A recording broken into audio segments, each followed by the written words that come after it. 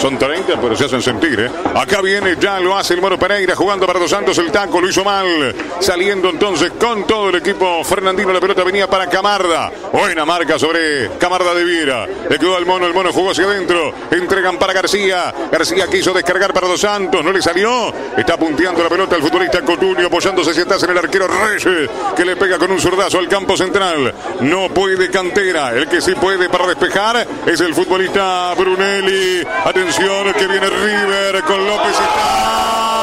No, no, lo erró López. Y la estuvo sacando el arquero, ¿eh? Reyes, entonces, fantástico. el jugador fue que justito puntió la pelota, el que venía a la marca con él. Para mí el zaguero. Bien. Gol que erra López, por favor, increíble. Un regalo de los zagueros. La pelota atrás, López con pelota dominada de frente del arco.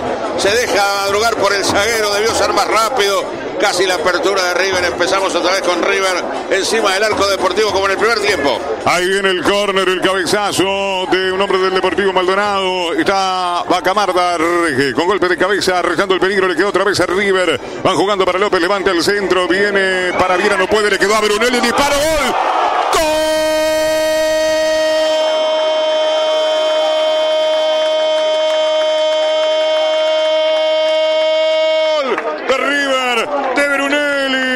El zaguero cómo llegó en el área adversaria y no fue de arriba. Le tocó rematar una pelota.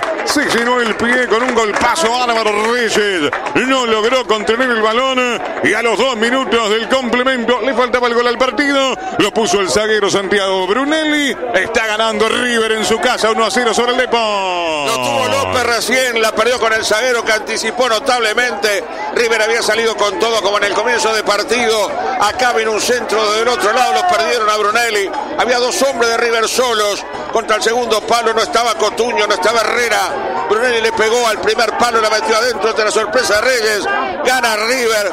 Yo decía un rato atrás en este tiempo, falta un gol para ver cómo reacciona el equipo que va en derrota, en este caso el Deportivo. Y qué actitud toma el que va ganando. Gana River, lindo gol del zaguero. Habitab, hacemos la vida más fácil.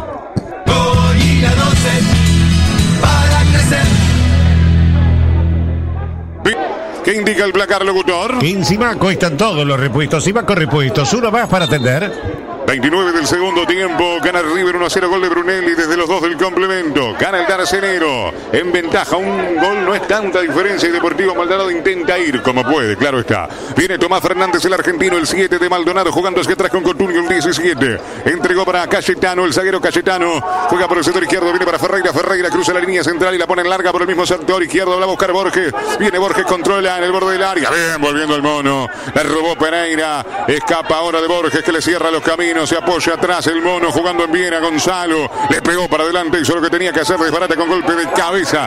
Cayetano la toma en el círculo central a la salida del mismo Ferreira. Ferreira descargó por izquierda. La pelota viene para Toledo. Toledo controla. Se viene Toledo contra la marcación de Pereira. Escapó Toledo. No, de Pereira no pasa. Viene el mono, ¿eh? Sólido en la marca. Va saliendo ahora River a través de García. Rebotó la pelota, le quedó cantera dentro del área. Jugó a la media luna para Fernández. El argentino soltó por derecha. Viene para Cotunio. Va a levantar con pierna izquierda la pelota viene para Borges, el golpe de cabeza, queda ahí, Cantera cayó en el área, viene Fernández, tiró gol. ¡Gol!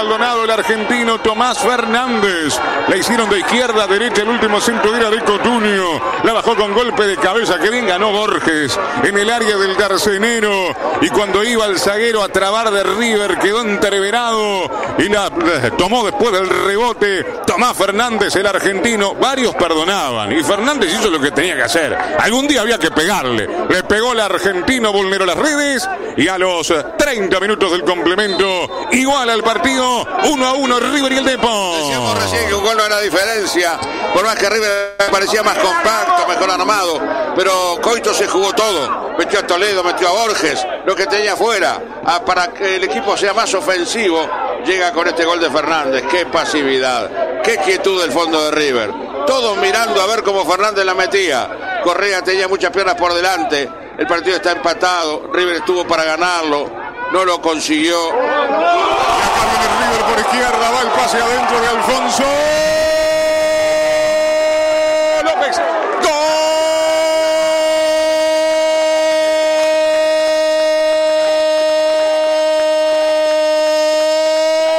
¡Gol! De River. ¡Qué respuesta!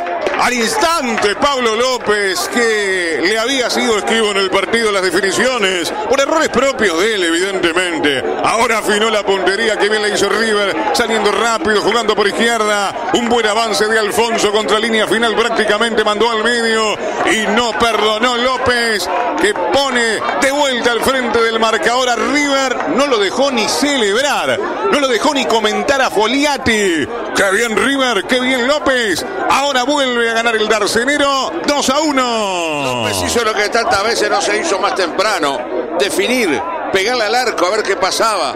La metió abajo rasante, Reyes no tuvo nada que hacer. Jugada por izquierda de River elaborada. Una linda jugada para este triunfo parcial de River. Decíamos tres minutos atrás, en 1 a 0 no era ventaja, el partido no estaba cerrado. Porque Coitos metió todo en cancha para llegar a algo más. Empató en una jugada en la de Borges, se mostró inteligente. Empató el partido. Y cuando movían rápidamente, jugada por izquierda, el pase al medio y López vio el hueco y la metió. Le vuelve a dar vuelta a River. En un minuto pasan cosas importantes. Empata Deportivo, pasa River. Queda poco. Fue un partido interesante, agradable, rapidito, bien jugado. Para lo que es nuestro medio, no más que contentos hoy. Habitab, hacemos la vida más fácil. para crecer. Y hay cambios en River, Jonah. Se fueron eh, Pablo López y Pablo García. Los Pablos, López y García ingresaron el 19 y el 21. Espera que se viene River a través del 19. Creo que es La Vega, ¿no? Va La Vega, enganchó hacia Sí. adentro, dentro del área La Vega. Sacó el disparo. ¡Qué golazo! De la joya de La Vega.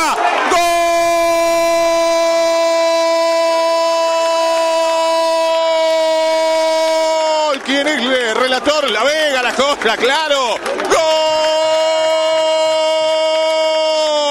de River. Le mojó la oreja. Al final el gol de Deportivo Maldonado le hizo bien a River. Le mojaron la oreja en dos minutos. Lo dio nuevamente, se puso al frente y ahora estira ventaja 3 a 1. Pero esto es mérito enorme y mayúsculo de La Vega. Un destaque individual extraordinario. Un arranque por la izquierda, un enganche hacia adentro maravilloso. Y un disparo con pierna diestra con Vado. Abajo al palo izquierdo de Reyes que se estiró y no llegó. Golazo, ¿eh? A los 33, mirá vos. En tres minutos, ¿eh? Qué bárbaro todo lo que cambió el partido. 3 a 1 gana River. Estiró River la ventaja y parece cerrar. Pícaro, sinvergüenza, torrante, descarado, descarado. Así hay que decirle a este La Vega lo que hizo. ¿eh? Se fue al medio diagonal, la metió al otro palo. Un golazo. Esos golazos de rodillas sucias, de canchas con mucho pozo y con mucha agua, con pelotas media desinfladas, como nos gustaba a nosotros. ¡Qué golazo de La Vega! Habitab, hacemos la vida más fácil.